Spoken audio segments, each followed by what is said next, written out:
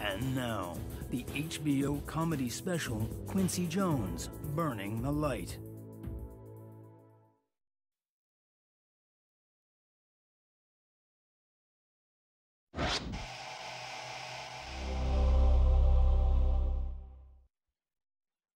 What do you do as a dying man when you're already following your dreams?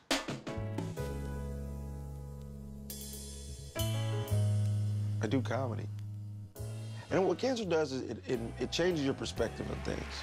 Despite being told he only has one year to live, our first guest has faced this devastating news with humor and courage. You fight till you have nothing left, and the chemo will drain you of everything. It'll make you mentally drained, emotionally drained, and then you still have to fight. You were doing a thousand shows a year, is that right? I figured I wanted to be great and average out to three a night. Then you have to keep going even when you don't feel like going. Wow, that is a lot of shows. Mm -hmm. They started a Kickstarter and now it's over $40,000. The comedy community stepped up like big time.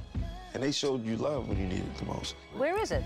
Teragram Ballroom. It's, uh, you know, the Monty, well, not, you wouldn't know, but okay. in the city. It took a lot of baby steps to get to this point right here. HBO is going to air your special.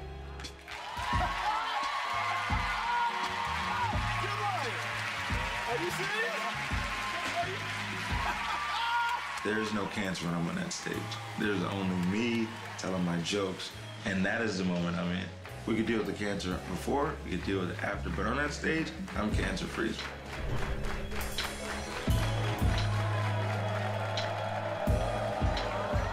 Ladies and gentlemen, Quincy Jones.